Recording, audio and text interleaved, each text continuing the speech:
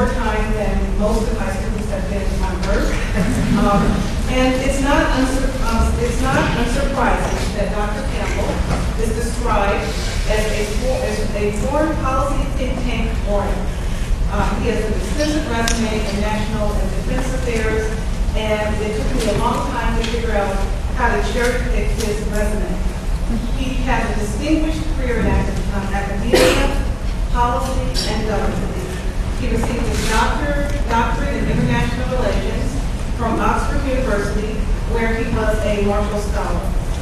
Um, after graduate school, he became a postdoctoral fellow at Harvard, where I met him. Later, an assistant and associate professor in Harvard's Kennedy School of Government. In the academic world, um, just a few of um, his positions have been um, also serving um, as a lecturer at Brown University and as a member at um, St. Cross College at Oxford. He's written too many books and articles to, to um, um, books and articles to mention here, but there are quite a few um, from U.S. policy for East Asia, defense matters, terrorism, and on and on and on. In government, he's had a number of roles, um, being one being assistant, uh, special assistant to the Joint Chiefs of Staff, while serving as reserve naval officer. He's also served as deputy special counsel to the president for NAFTA in the White House, and was a White House fellow in the Department of um, Treasury. Prior to his current position at the State Department, where he runs um, our Asia policy, Dr. Campbell was CEO and co-founder of CNAS, Center for, for New American Security. He co-founded it with Michelle Flournoy, who is the highest ranking woman in the Pentagon. CNAS has become a force in Washington in the think tank world. Um, there are many, many think tanks in Washington, and they drown each other out, but CNAS has found a way to distinguish itself as a nonpartisan research institution that works to develop principled, practical, and effective national security policy. Um, he has many honors. I won't read them all, but one includes Korea's National Security. Incidentally, um, Dr. Campbell's wife, Laurel um, um, Brainard, is currently Undersecretary of International Affairs at the Department of Treasury. She's the highest ranking woman ever in the Department of Treasury. She was the youngest tenured person in economics at MIT. And furthermore, Dr. Campbell has three daughters. Um, so please give me, uh, join me in giving a warm welcome to this well-rounded scholar, family man, statesman, Dr. Kurt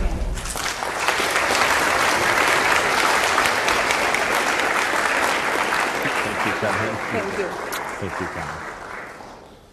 Thank you, Kiron, and it's just an honor to be here, and I'm so grateful. And you cannot have a better professor or colleague uh, than Kiron. I think you all know that, and the work that she's done on uh, the uh, Reagan Diaries and uh, the work in the Cold War is really terrific. I got to know her when we were both much younger, and she was a wonderful colleague and friend then. And when she asked me to come uh, to Pittsburgh, I said I would be more than happy to uh, visit a city that actually has a football team as opposed to Washington. Um, Many of you uh, probably watched the game last night and made very clear that we do not have a football team. Um, I was, uh, it's always striking when I hear a wonderful um, presentation or uh, sort of review of my bio and I reflect on how little it resembles my daily life and how completely out of whack my life is at a general level. So, as Kiron indicated, my wife is at the Treasury Department. Right now, given the state of global economics and the G20. She is, by an order of magnitude, the most important person in our family and has just gotten back from uh, some uh, very critical interactions uh, in Korea and, and uh, Japan. And so last week, I have very young daughters, uh, the youngest of which is three, or two and a half. And uh, so I, I, don't know if any of you know what it's like if you're a dad and you're sort of raising your three daughters. So every morning is much more difficult than trying to negotiate a trade deal. So every girl from the time that we wake up between 5:30 and 8 in the morning has at least one horrible crying jag. And just to give you just a sense of what that's like, about a week and a half ago, I was get I had gotten the girls all up and they were all dressed. My oldest is 10 and she can be a little bit more helpful. And my younger, youngest one, two and a half, Coco, you have to just kind of be on her and kind of help her get through the day. But I took my eyes off her for just a nanosecond, literally a nanosecond, and I had spread her bagel with butter. She loves butter. And so she had been dressed, she was sitting at the table, and I was sort of focused on my other girls, brushing their hair, getting them ready uh, for school. And I turned back in a second and my uh, little Coco had taken all her clothes off and was rubbing her body with butter butter like all over. And being a good dad, and I'm going, I'm not going to be dad of the year, but I'm, I'm going for most improved dad. And, and so I just broke down and said, Why, why, please, please, like that, which dads do, begging, pleading, not, not, not fixing the problem, but just basically whining. And uh, my middle daughter, who's a little bit more difficult, said, Hey, Papa, how's that diplomacy working for you? so, um, anyway, so that's, that's really, in truth, what my life is really like, as opposed to sort of highfalutin discussions of biography. So, I, am here to talk to you today about, um, about Asia, and I'm going to talk about the United States and Asia. When Kyra and I first uh, started to work uh, together uh, many years ago at the Kennedy School, we were primarily focused on another large country and a large set of challenges on the Soviet Union and the Cold War that we were in the midst of. And I had uh, studied in the Soviet Union and I'd learned Russian, I'd done the whole thing. But right when we were sort of completing our graduate education, uh, we had come to the end of that period. And I found myself less interested in foreign policy. So I had a chance to work at the Treasury Department for a while. But I just wasn't interested as much in the, in the challenges of the new Europe or some of the uh, new issues that we were dealing with um, uh, on the global scene. So I had a chance, uh, one of our former colleagues, Joe Nye, who many of you may know, uh, the, sort of the architect of the concept of soft power, uh, said, Well, why don't you come over and work with me at the Pentagon on Asia? And at that time in the mid 1990s, it was like a giant world opened up to me. And I realized that this was my passion. This was the area that I wanted to spend the rest of my life working on. And for the last 20 years, I've been spending almost every day thinking, reflecting, trying to strategize about what it means for the United States in terms of the Asian Pacific region. And let me give you some context if I can. If you, if you think about what Asia means and will mean for the United States, over the course of the next, oh, several generations. I think it is undeniable that when people talk about the Asia Pacific century, we are living in it. We are in the midst of it now, although on many occasions it's not real to us and it doesn't feel as significant. So if you ask, if you look at recent Pew polling and other uh, uh, discussions that analyze uh, American thinking, not just sort of here but in the heartland, you ask most Americans, uh, where are we principally engaged in terms of foreign policy and national security? They will say uh, to almost a two to one margin that our primary focus, our primary arenas of engagement are in the Middle East and South Asia Iraq, Afghanistan, Iran, Middle East peace process. Now, these are undeniably important issues, and they are uh, strategically very challenging. But um, I think by almost any measure, if you ask historians 30 or 40 or 50 years from now and ask them to look back on this period and say, where, where is the sort of the, the cockpit of global power? Where is the major issues uh, that are playing out in global politics? Uh, where do they reside? Uh, the answer, I think, increasingly is going to be in the Asian Pacific region. And so, just as someone told me, I remember as an undergraduate, uh, saying, Well, where should I focus on? Uh, you know, in addition to what else I'm doing, my number one suggestion to all of you is think much more deeply, reflect both professionally and in terms of languages on Asia, because that's really going to be where the future of the United States lies at almost every level. Let me try to give you some sort of uh, uh, meat for those bones to understand what the nature of this change is and what it means for the United States. Uh, today, as we speak, every year, basically 1% of global economic uh, activity shifts to Asia. Uh, by orders of magnitude, the fastest growing economies are in uh, China, in Southeast Asia, and increasingly in India. China's growth for the last uh, 10 or 15 years has been at about 10% a year. It's the most uh, dominant increase in, uh, in uh, global GDP in history. If you look at the World Bank studies about poverty reduction, just to give you for instance, if you subtract the number of people that have been raised from poverty, uh, out of poverty uh, in China from the global numbers, you recognize that the only place that you've had a real systematic success in poverty alleviation uh, in the aggregate is in China. And I think we'll have a similar process, we hope, over the course of the next 15 or 20 years in uh, India as well. So you have uh, massive economic uh, uh, capabilities that are on display on almost a regular basis. And it poses very significant, sometimes severe economic and political challenges to the United States. At the same time that there's this enormous promise of economic activity, there are also enduring challenges and difficulties associated with the Asia Pacific region. Let me give you a couple of examples. Um, basically, uh, every country in Asia has a problem with one or more of its neighbors. And the interesting thing about uh, the Asian quote, quote, community is how little trust and confidence there is generally among its various members. And one of the reasons why the United States has been so successful as a guarantor of peace and stability in Asia. If you think about uh, what the role the United States has played in Asia, for the last 30 or 40 years, we have about 100,000 American military forces soldiers, sailors, Marines, uh, and, uh, uh, uh and, um, and, airmen who uh, have served to, to, protect and project American uh, power in the Asian Pacific region.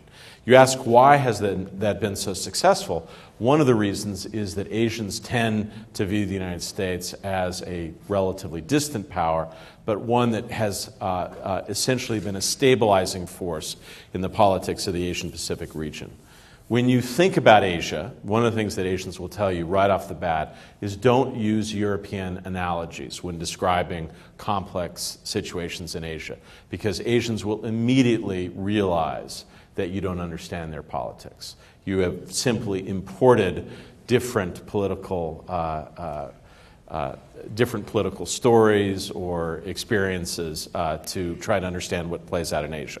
All that being said, my favorite analogy, my favorite story that I think has enormous relevance for Asia comes from Europe. So I'll just, I'll just now violate the principle that I just laid out. In the 1980s, Lord Carrington was the Secretary General of NATO under Margaret Thatcher. And he was sitting around in a meeting at NATO in which the Italians, the French, and the Germans and the British were going on and on about the United States that we were clumsy, that we didn't coordinate very well, that we had no culture, that we were stupid, uh, that we were blundering, sort of over muscled uh, uh, global players. And after about 25 minutes of this, Lord Carrington turned to his various assemblage of diplomats and said, ah, alas, they are the only Americans we have. And in many respects, that role is um, repeated again in the Asian Pacific region. We, the United States, is, are the power as you have many changes rising states, falling states, uh, proliferation challenges, and the like that almost every country in the Asian Pacific region can look to as a stabilizing factor and force uh, in global politics. So, what are the challenges? What, what, what's playing out in Asia right now that matters for the United States? One of the most uh, challenging uh, uh, things that the United States is going to have to deal with over the course of the next generation is the rise uh, onto the scene of another great power.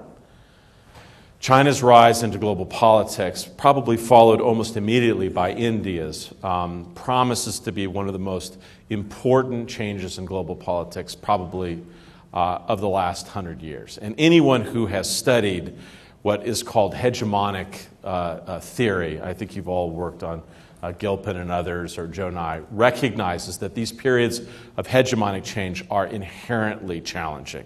So when you have an established power like the United States, and a set of rules and a set of institutions in place, but then a rising state like China that demands and expects to play a larger role, to have greater sway in a variety of uh, interactions, that um, conversation, that negotiation can be very complicated.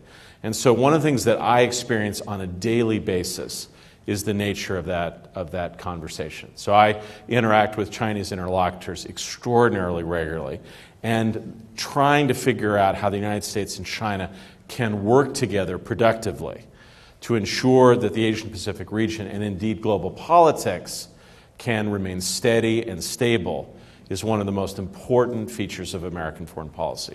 And that's extraordinarily difficult because the United States is facing very real challenges economically right now, but so is China. A massive movement of uh, rural people to urban cities, huge problems in terms of gaps between rich and poor, and enormous environmental and labor problems, right?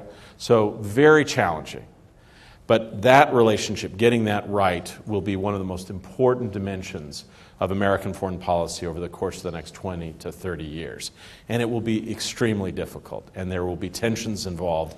And you saw those on full display uh, recently when President Obama was both in Korea and in Japan for the G20 and the APEC discussions as the president is making clear that there needs to be adjustments in our sort of economic relationship with the United States, saving more and Chinese friends buying more from the United States in terms of exports, and that we cannot go back to a situation where we are the uh, purchaser of last resort, where we are the basically the engine of of, of, global growth, that we no longer have the wherewithal to essentially uh, take on relatively inexpensive Asian uh, uh, capital and then use it to uh, purchase uh, large amounts of uh, exports, imports into the United States, and that increasingly that the United States must there must be a global rebalancing agenda, and that was the subject of substantial debate and discussion at the G20 that took place in, in Seoul, Korea, just over the weekend. So that's just one of the challenges that we're dealing right now. Also, uh, the United States is in the midst of trying to negotiate a different kind of relationship with India. Um, the United States uh, and India are two uh, very old democracies. Uh, we should, by all accounts, be much closer than we are. But for a variety of reasons, we've had challenges finding ways to work together productively. But over the course of the last 10 years, first with very able leadership from President Bush, and now hopefully followed by President Obama, we are seeing a relationship between the United States and India take root. And despite its difficulties, it's extraordinarily important in terms of what it promises to global uh, prosperity and greater strategic cooperation as a whole. Um, it has been said that President Obama is our first Asia Pacific president, right? Now, you could quibble, you know, you could say, well, you know, uh, President uh, Uh, President Nixon was born in California. Others had more uh, experience as well. But the truth is, what's interesting when you spend time with President Obama, he, um, you know, he, he spent a, a, a, large part of his youth in Indonesia. Uh, and grew up in Hawaii. So he has, I'm struck when I sit down, and you're always nervous when you're briefing him, his level of knowledge about Asia is much higher than you would normally uh, you know, find in just an everyday person who thinks about global politics. He is deeply knowledgeable and has a vision of where he'd like to take the United States going forward. So, so what is that? You know, where do you think the United States should be going in the Asian Pacific region? And the, the elements of that strategy are, are several fold. I will say uh, there's also, I think, lurking uh, beneath all of this a much larger challenge that, frankly, the United States and other countries have not yet effectively addressed. Um, if you ask me, you know, what's the biggest challenge in global politics over the course of the next 30 to 40 years? It's not rising states, it's not proliferation, it's not the mistreatment of women and girls, although all these issues are critically important. The dominant issue that is going to be extraordinarily difficult for global politics is the what are the security implications of climate change? And I think we are going to find in everything that we have seen in uh, recent months and years in terms of new evidence suggests that the path and pace of global warming is much more rapid, much more destabilizing, and much more worrisome than even the most worried of us uh, thought about just a couple of years ago. And if you think about the most recent studies associated with the melting uh, of the Arctic, and you sort of imagine what a two feet rise in sea level uh, would mean, devastating for the United States, but think about what it would mean for Asia. Give me a sense if you had a two foot rise in sea level, how many people are on the move in Asia? Just roughly, give me a rough number. How many people would be forced to relocate given that rise in sea level? Just roughly. Anyone? 400 million. Anyone else? Pardon me? 1 billion. Getting closer? It's about somewhere between 1.3 and 1.5 billion people. So, in a sense, from my, from my view, I mean, look at the fragile infrastructure of all these states, and indeed of the United States. These kinds of potential challenges, very hard to imagine. They're, they pose existential threats. And so, one of the things that's going to be very clear going forward is that climate change will, you know, the drivers of climate change are found in the Asian Pacific region. Most of the biggest contributors, including the United States, are Asian Pacific players. So the problem and the solutions, if there are to be solutions, are found with this, within the, this constellation of states, right? So um, I think what um, the United States will need to do over the course of the next several years is reapportion its general uh, level of engagement. And so we, we must finish successfully what we've started in Iraq and Afghanistan, despite you know, debates about you know, how we got there, where we are. I think we have a moral and strategic imperative to uh, do uh, the best we can to complete those missions.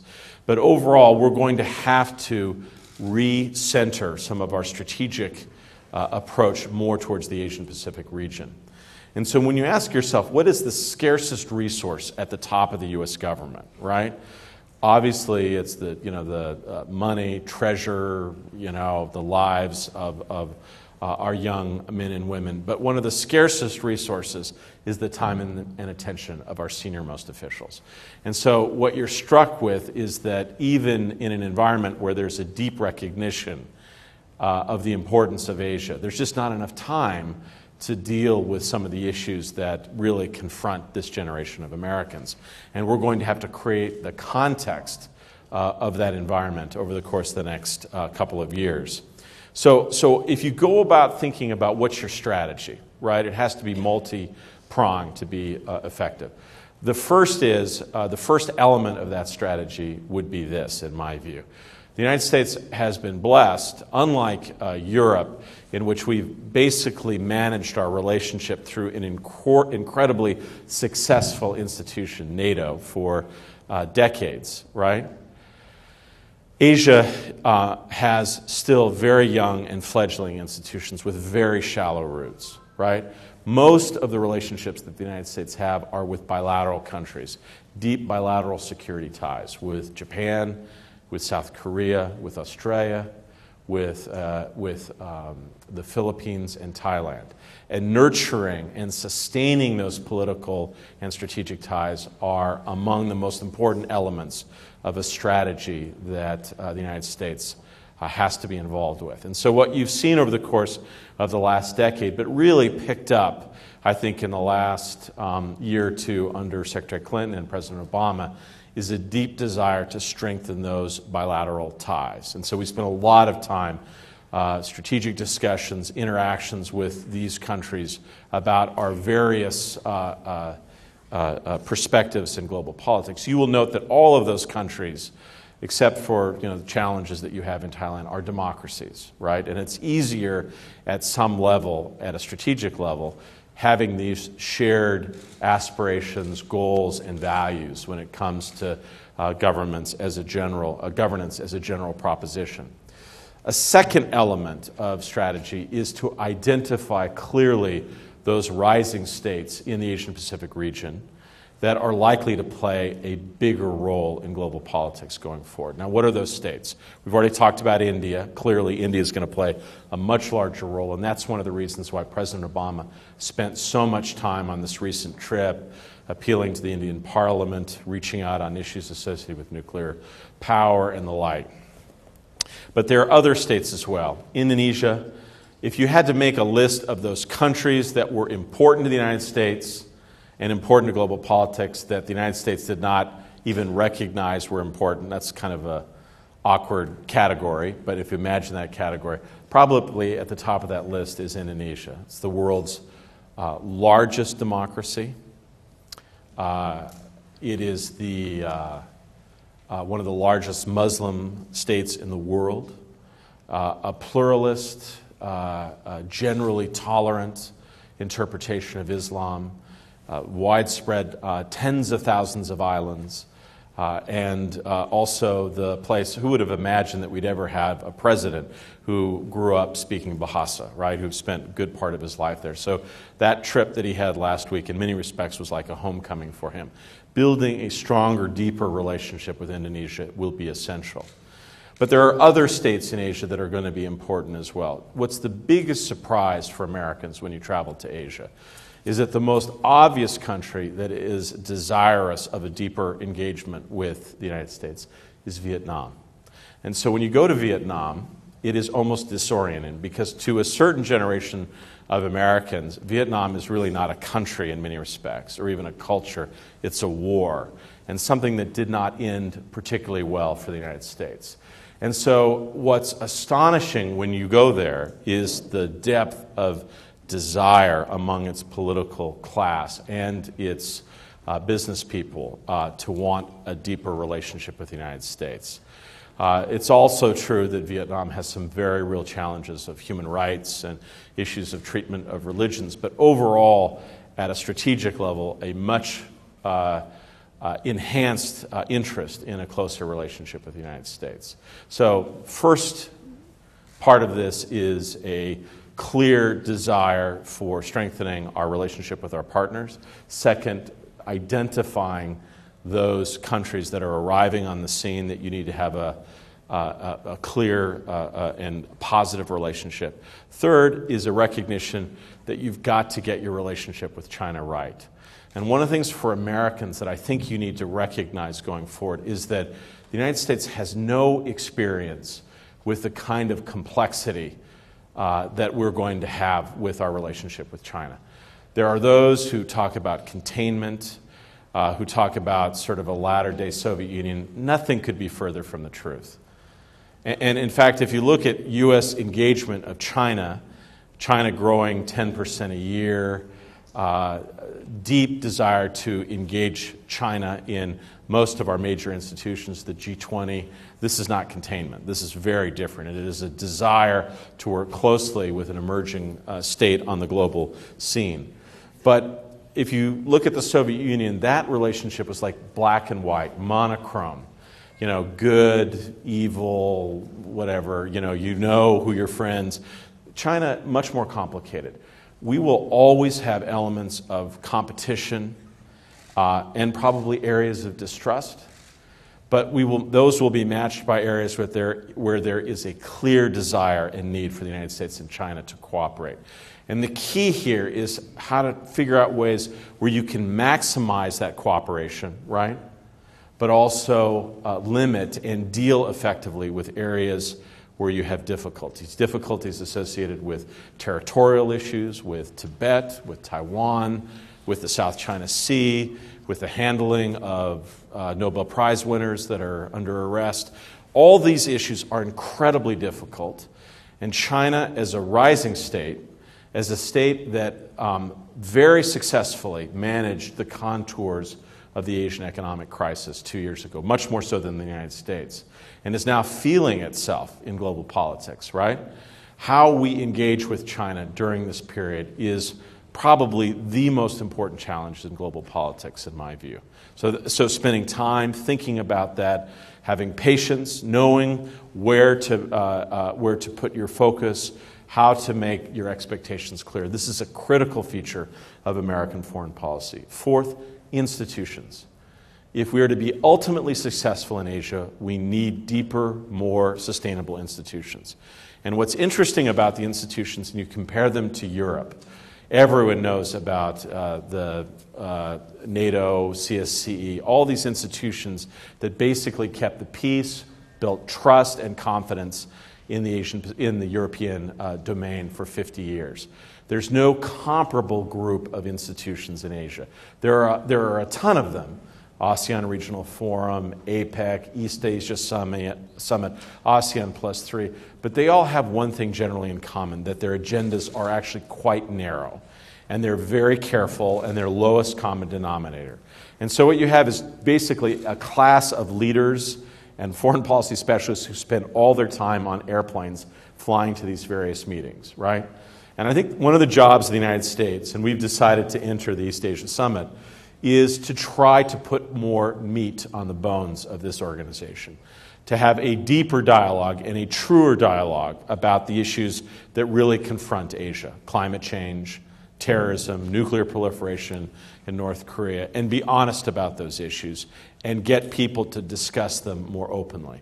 And the truth is, that's deeply discomforting, oftentimes in a larger setting in Asia, right? So, the nature of the political discourse in these larger organizations in Asia is utterly different from the kind of culture that has emerged over decades in the United States and in Europe. And realizing that and, and hopefully the United States adapting to some of that, right? We just can't come in and say, do it our way.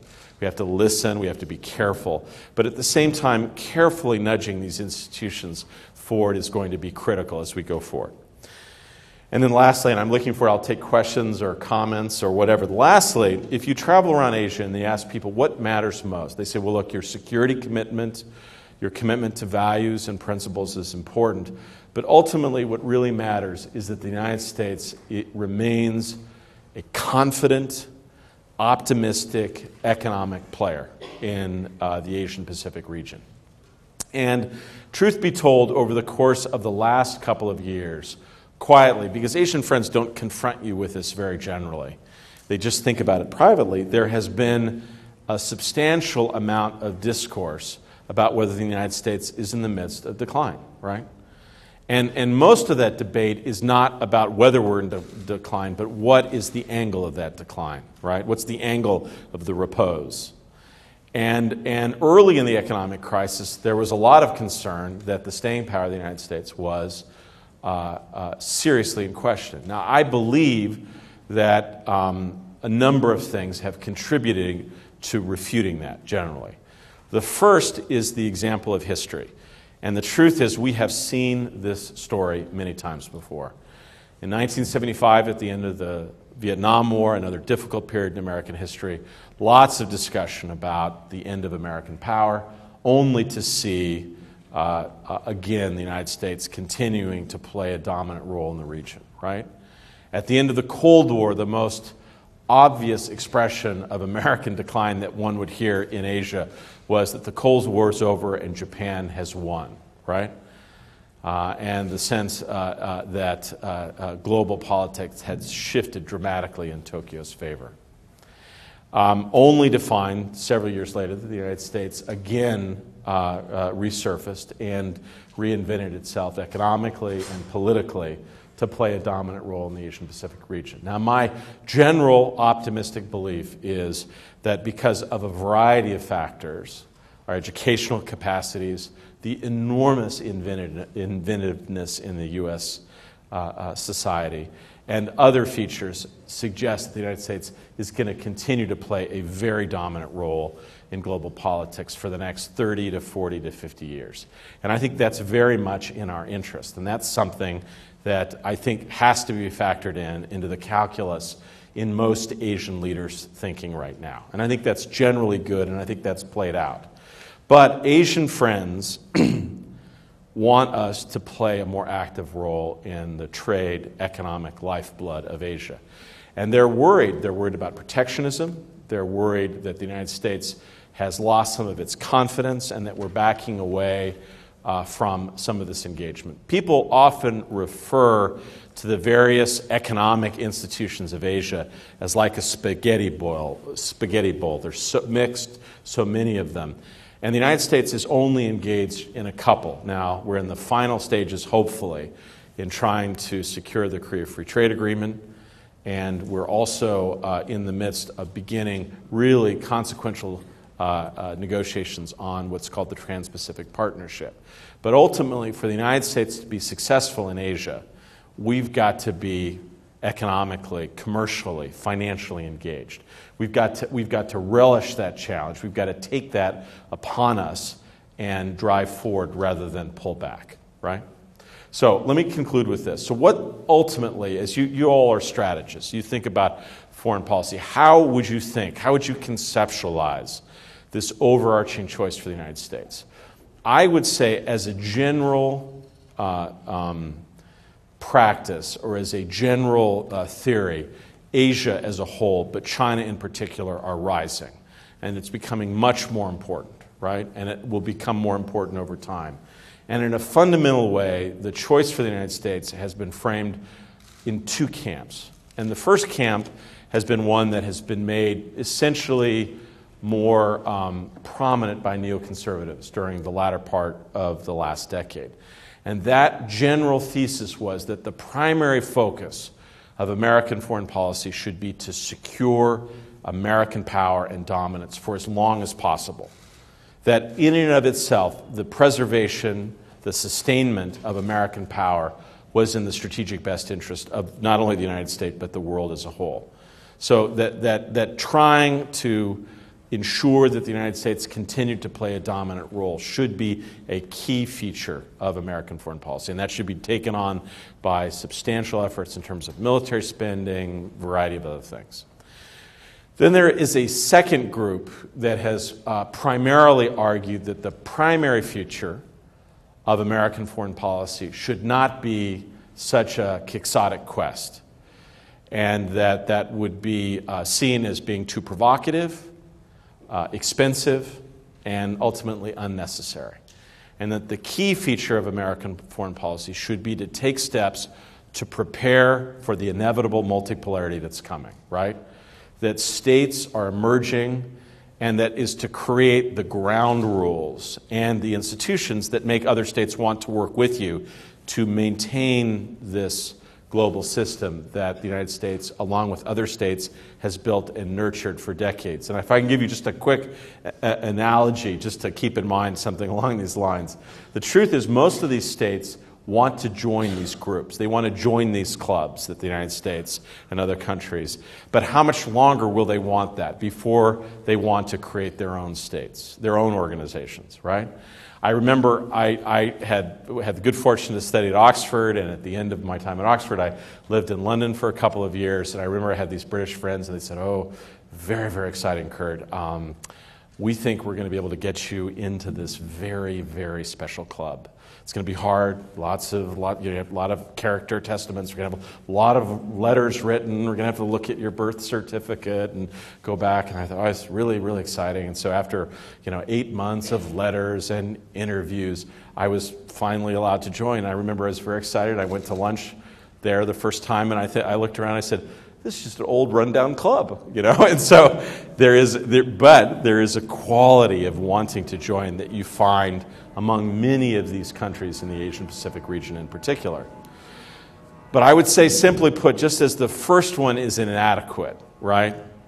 The second one by itself probably uh, sends the unintended signal of American uh, withdrawal or uh, limits of American power. And so I think the real key feature of American foreign policy in Asia, in particular, is to try to match these two schools simultaneously sustain American power and leadership where you can, and at the same time, take the inevitable necessary steps to prepare the world for a time in which the United States is one state among many who are involved in not only the dominant economic but political relations uh, of our time. I'll conclude with this, but if you guys want to have any questions, I've, had a, I've been in the shop for about a year and a half. I've had just some wonderful experiences. One of them has been I was the key guy who got to negotiate uh, with the, unsuccessfully, by the way, very unsuccessfully, with the, um, uh, the junta in Burma and had two very long meetings with Aung San Suu Kyi. Many of you may have seen she was finally released from prison two days ago. We were all thrilled by that. Uh, if you have any questions about any of this, I'd be happy to assist you. And I, again, it's great to be here. And uh, I don't know, Karen, do we take questions now, or how do we? I take questions. So if I could, if I could ask you if people do have questions or comments, just identify so I know where you're from. And yeah. Um, I, actually a Princeton. And you're, you're a what? University of Pittsburgh. Okay. I was wondering, you said, uh, you know, we need to balance our relationship with rising China, but also a data as a whole. Well, it seems to me that the United States, while we, we are interested in obviously best in NATO, we can and transparency, however, Taiwan practice, military in the South Asia, see develop a relationship with Vietnam, which is something that China might not react positively to. How do you reconcile these problems? Look, I, I think uh, let's take the issue of Taiwan what we've tried to be very clear with uh, is that we support the dialogue that's taken place between the two sides. We, our primary interest is in the process through which the, these issues are worked out. We insist that it's peacefully. Uh, we insist that it is done with the requisite support of a demo, democratic uh, population uh, in uh, Taiwan generally.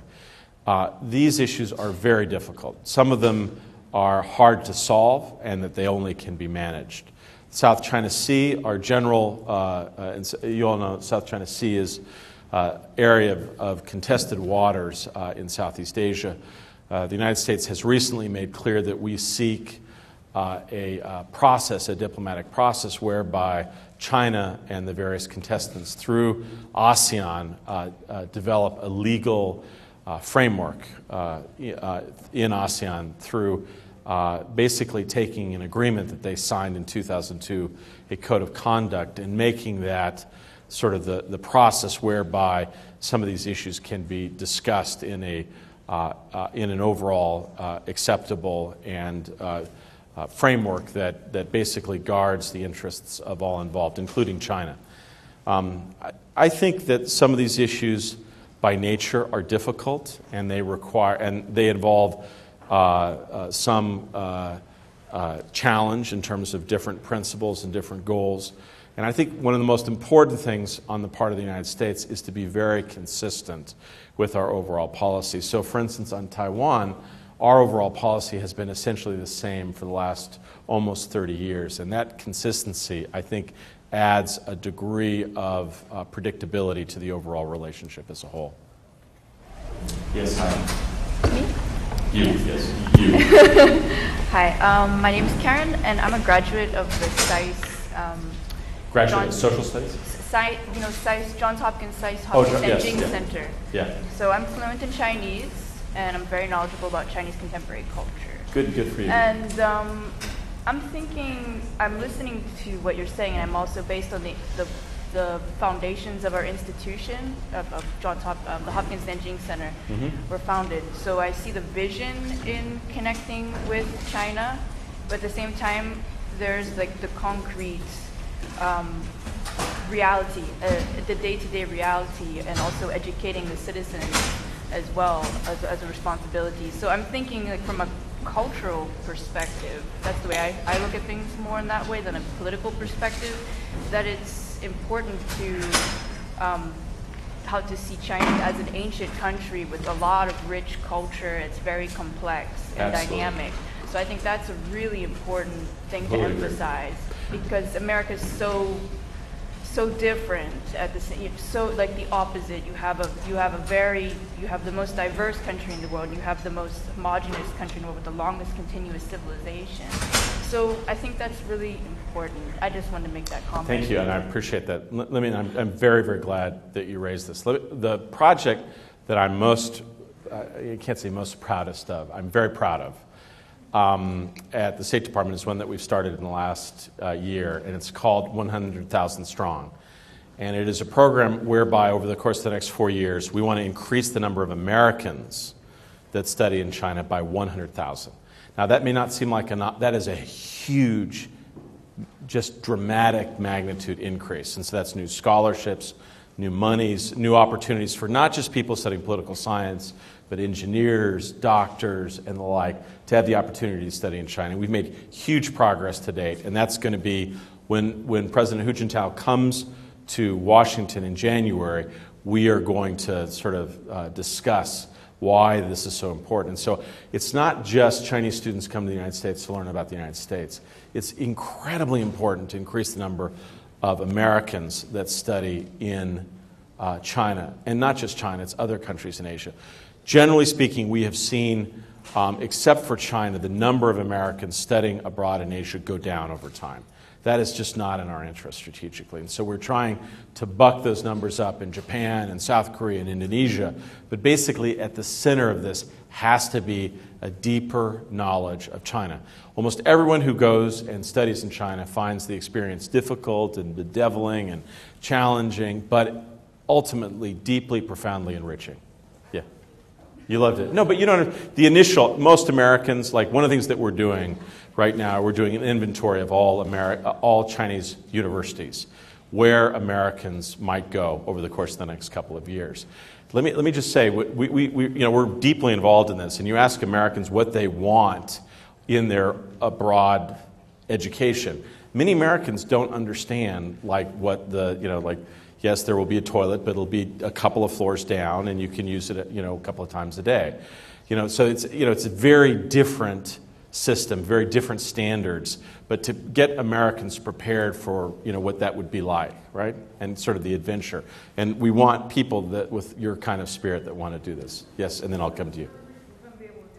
Okay, I'll take two more quick. Okay, we'll we'll take them together. So, yes, I talked too long. I've, I'm out of the habit of talking. I apologize for going on so long. So go ahead. Hi, I'm a Japanese major at the University of Pittsburgh, so naturally I have a Japan-related question. Good. Um, the 2004 National Defense Program um, guidelines in Japan are currently being revised to accommodate the security situation for the next 10 years.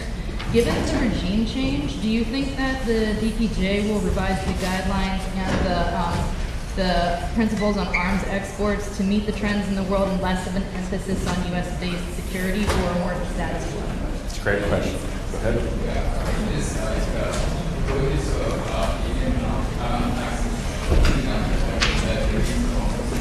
What do I, what do I think about this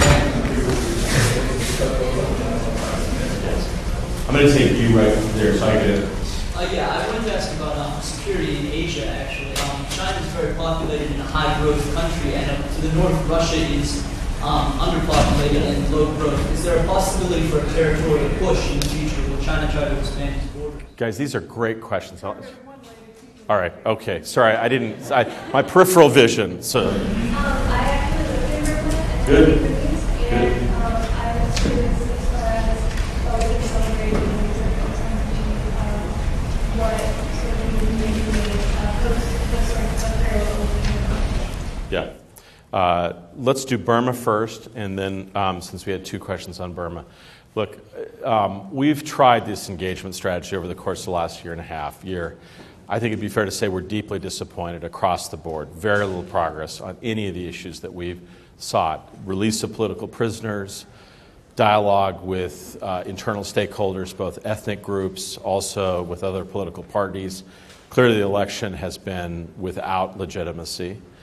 Um, and the only thing that's happened basically is the release of Aung San Suu Kyi. And she has made very clear that she wants a dialogue with the leadership. We support that process. We'd like that to come to pass. We want a dialogue with stakeholders. When I met with Aung San Suu Kyi, one of the things that she basically said was that we must be in a situation in which uh, there is a role for the military in society and there needs to be a dialogue between myself and others and uh, the government. We're in a situation now where it's, it's a very difficult, where Aung San Suu Kyi and her compatriots have enormous moral standing and very little real power. And the military, the junta, uh, Than Shwe, have enormous power, military and other sort of um, uh, coercive power, and almost no, no moral authority. And so there's going to need to be some sort of overall process over the course of the next several years to create a more legitimate structure inside the country. Burma has enormous challenges, as you know well, huge ethnic uh, uh, difficulties, lots of uh, uh, uh problems of poverty, of horrible malnutrition, uh, problems in agriculture across the board. I, I have encouraged all of our friends in ASEAN to take a more public role and to acknowledge that the, the overall approach that they have taken, which is just hope for the best, has not succeeded overall. So, so that, that, would be my general view, although I will say that, you know, history is about movements and strategic.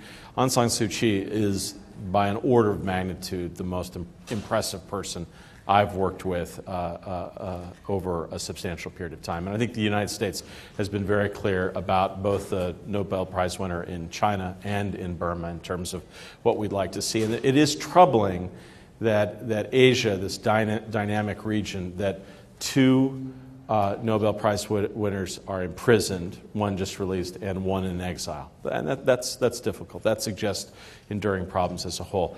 Ma'am, to your question, your very good question, that's excellent question.